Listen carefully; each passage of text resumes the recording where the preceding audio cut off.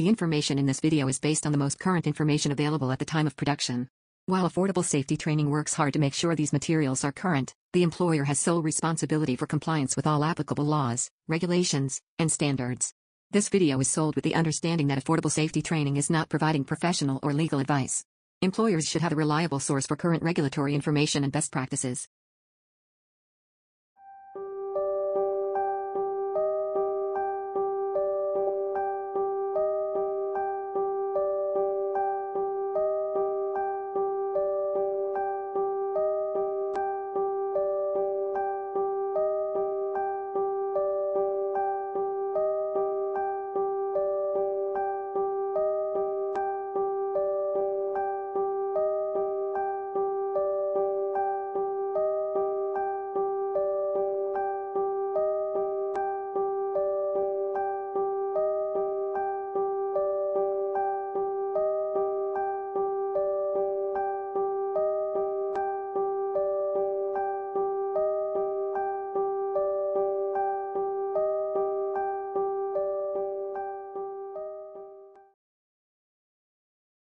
Silicon dioxide, commonly known as silica, comprises more than 10% of the mass of the Earth's crust. Silica is found in sand, soil, rocks, and many other naturally occurring materials. In its normal form, it is usually not hazardous. When silica-containing materials are cut, sawed, drilled, ground, or crushed, silica dust can be released. In this form it is known as respirable crystalline silica, and exposure can cause serious health problems. In the United States, it is estimated that 100,000 workers in general industry and 2 million workers in construction are exposed to respirable crystalline silica each year. The objectives of this course are to 1. Understand the potential sources of respirable crystalline silica. 2. Understand the health hazards of silica.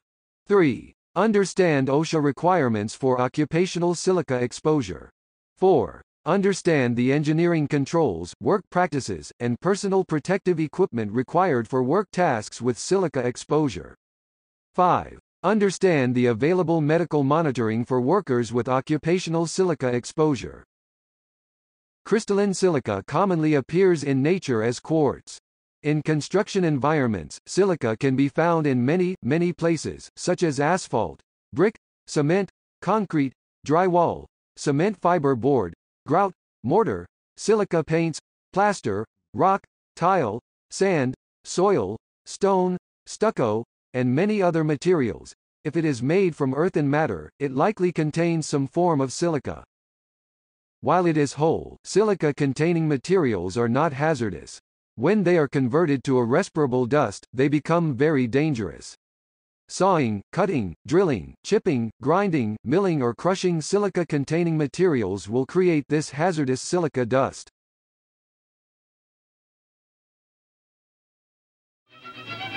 Nineteen thirty-five. A wave of fear was sweeping the country. Silicosis was taking its toll from the ranks of American workers. Cause of the disease, dust. Results of the disease, disablement, poverty, death. Cure for the disease, none. Throughout America, workers exposed to dust grew fearful of their health, of their very lives. 1936. Amid these alarming events, the Secretary of Labor called together a national conference to study this disease. A committee of 60 experts was appointed, and a year later reported to the Secretary of Labor. But let's hear from Miss Perkins herself. After a year of work, the National Silicosis Conference Committee has just made its report of findings and recommendations. And I feel it to be my duty to make this report available to the working people of the United States and to their employers by every available method. This report shows how silicosis occurs, where it occurs, and what the disease is, and it makes recommendations for its practical control.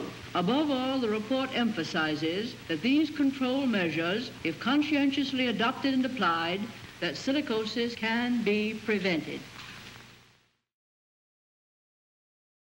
When silica dust is inhaled, it absorbs into the lungs, causing inflammation and scarring.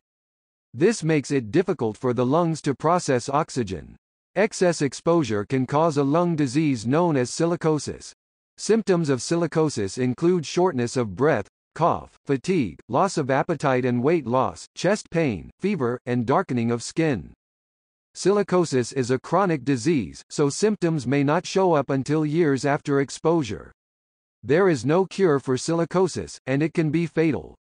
Respirable crystalline silica exposure can cause lung ailments, such as chronic pulmonary disease. It weakens the immune system, which makes you more susceptible to illness. Exposure can also cause kidney disease and kidney failure. Silica is a known carcinogen, and can cause lung and other cancers.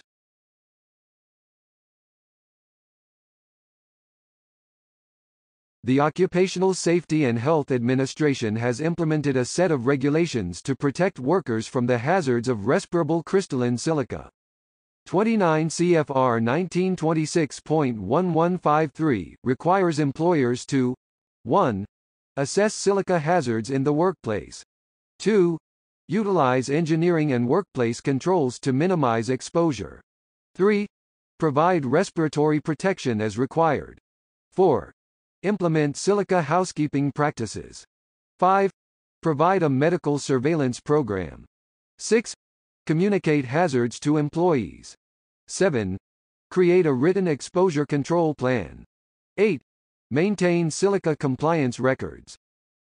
These rules apply to any employer with an airborne respirable crystalline silica level of 25 micrograms per cubic meter or greater, under normal or any foreseeable conditions. This is known as the action level. When it is determined that a task exceeds the action level, the employer is bound by the requirements of the silica standard. The company must ensure that exposure is kept below the permissible exposure limit of 50 micrograms per cubic meter.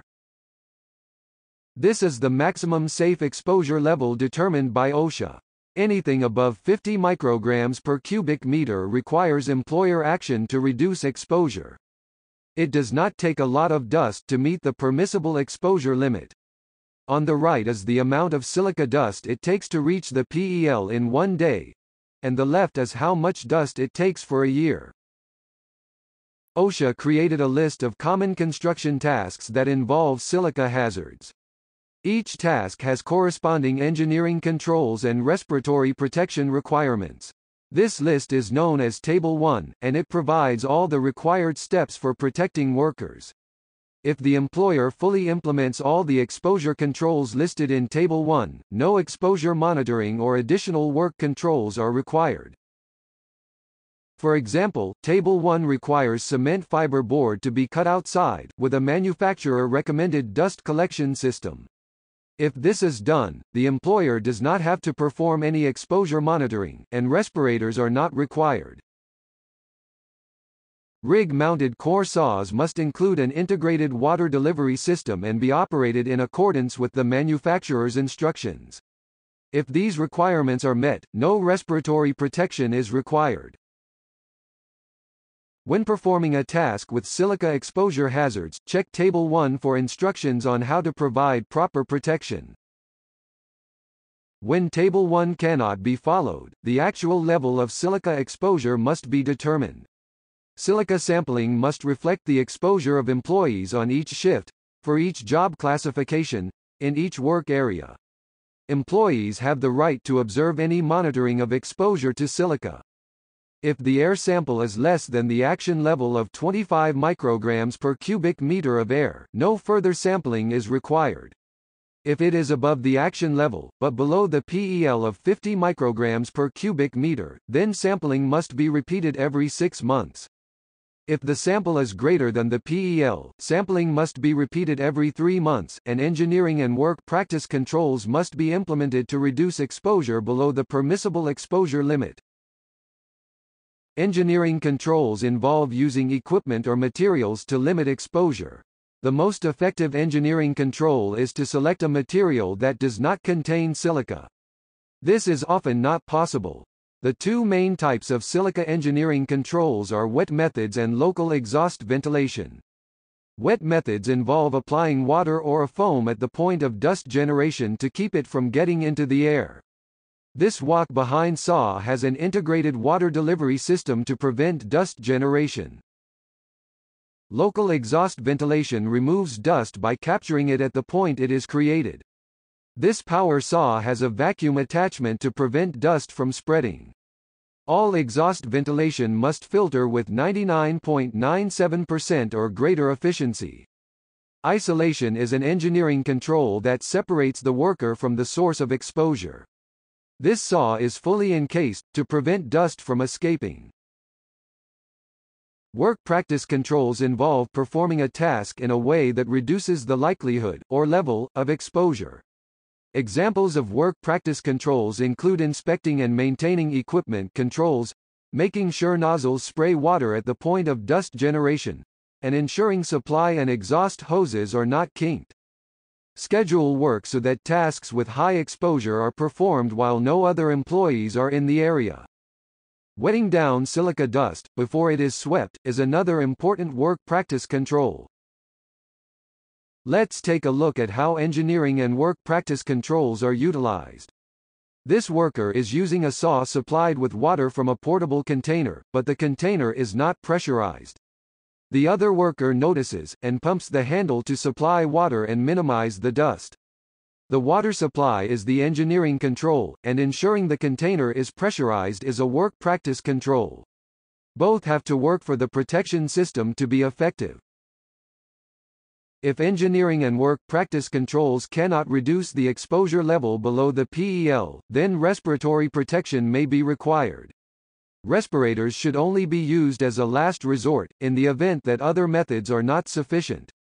When respirators are required, the employer must comply with the OSHA Respiratory Protection Standard, which includes fit testing, medical evaluations, respirator training, and a written respiratory protection plan.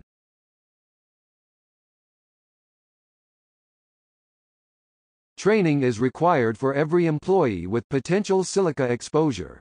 This training must include the health hazards of silica exposure, tasks in the workplace that may have silica exposure, the engineering controls, work practices, and respirators required to protect employees, the contents of the OSHA silica standard, the competent person responsible for silica compliance, and the purpose and description of the medical program.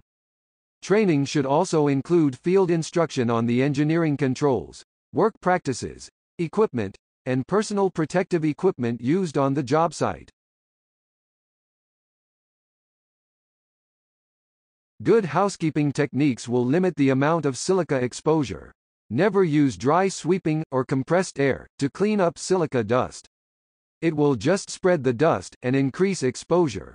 Use a high-efficiency vacuum to collect the dust, or spray it down with water, and collect the wet dust slurry. These housekeeping practices are only required for potential respirable silica dust. Normal cleaning methods can be used for general dust, soil, or large debris. Each site will designate specific housekeeping techniques that are appropriate for the job.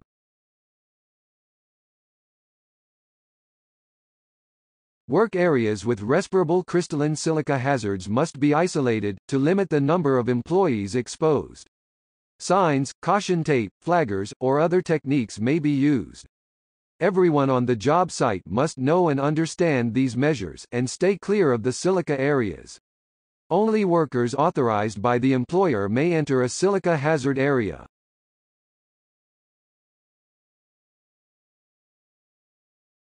A competent person must be designated to oversee silica safety compliance. A competent person is capable of identifying existing and foreseeable respirable crystalline silica hazards in the workplace, and has authorization to take prompt corrective measures to eliminate, or minimize them. The competent person must make frequent, and regular inspections of job sites, materials, and equipment to ensure proper implementation of the silica exposure control plan.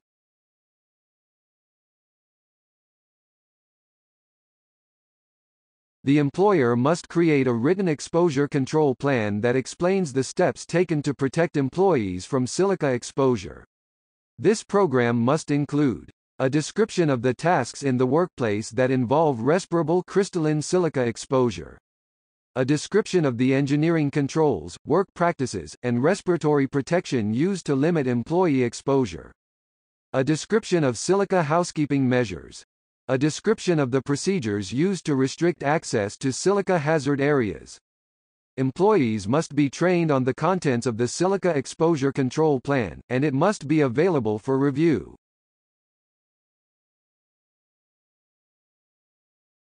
Any employee who, as part of the silica standard, is required to wear a respirator 30 or more days a year, must have access to free medical monitoring, at least once every three years. The medical surveillance is designed to detect any adverse effects of silica exposure. These exams are important, because they verify the effectiveness of the respirator program. The medical exam includes a general physical, chest X-ray, pulmonary function test, TB test, and other tests deemed appropriate by the physician.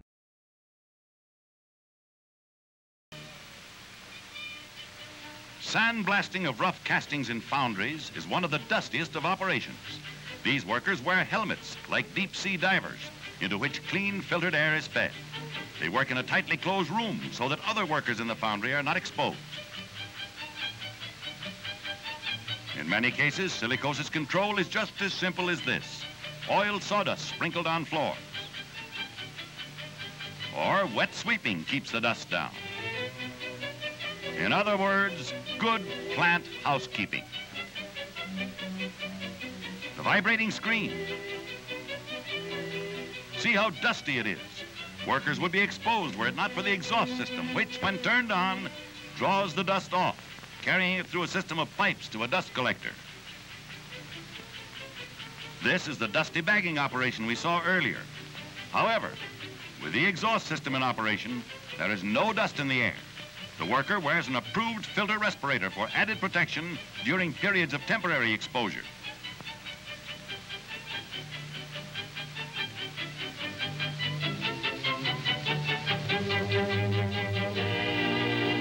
In this close-up, the dust is being carried at high speed into the suction system, where it is collected.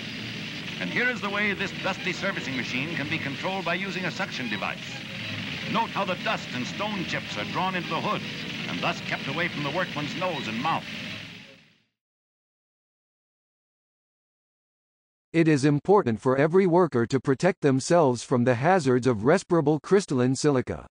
Know the tasks on your job site that create silica hazards. If the job involves cutting, grinding, chipping, sawing, or blasting natural materials, there is a good chance a silica hazard exists. Review the engineering and work practice controls required to keep you safe. Consult Table 1 and the Silica Exposure Control Plan for a complete list. If required, wear respirators and other personal protective equipment. Never dry sweep, or use compressed air, on silica dust. Always use high-efficiency vacuums, or wet methods, for cleaning. Isolate silica hazard areas, and post warnings for employees to stay clear. Never enter a silica hazard area, unless you are authorized and have a task to perform. In the past, silica has been deadly. With the proper care and equipment, we can make silicosis a disease for the history books.